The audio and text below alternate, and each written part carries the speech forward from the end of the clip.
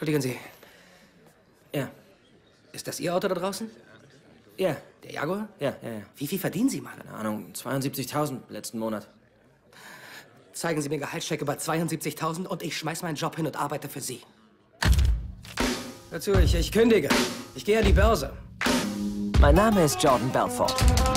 Im zarten Alter von 22 begab ich mich an den einzigen Ort, der zu meinen hochgesteckten Zielen passte. Das Spiel heißt, zieh deinen Kunden das Geld aus der Tasche und lass es in deine verschwinden. Und wenn ich dann damit Profit für die Kunden mache, haben ja beide Seiten was davon, richtig? Nein. Ich habe meine eigene Firma in einer verlassenen Autowerkstatt gegründet. Eure Zielgruppe sind die reichsten 1% der Amerikaner. Ich liebe drei Dinge. Mein Land, Jesus Christus und Leute reich zu machen.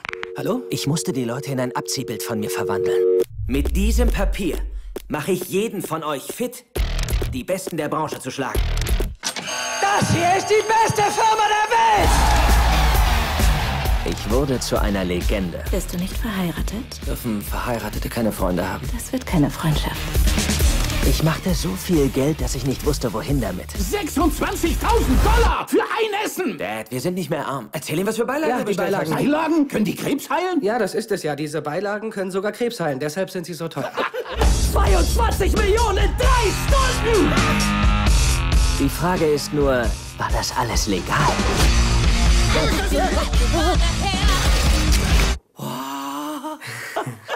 Absolut nicht.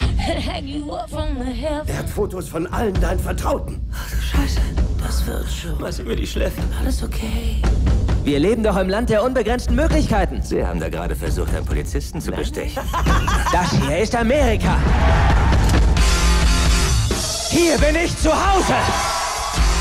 Glück gehabt, kleiner Mann. Meinen Sie damit mich? Die Show geht weiter. Da müssen Sie schon die Nationalgarde schicken, um mich zu holen. Anders kriegen die mich hier nicht raus. Ich arbeite nicht für dich, Mann. Solange mein Geld an deinen Titten klebt, arbeitest du für mich.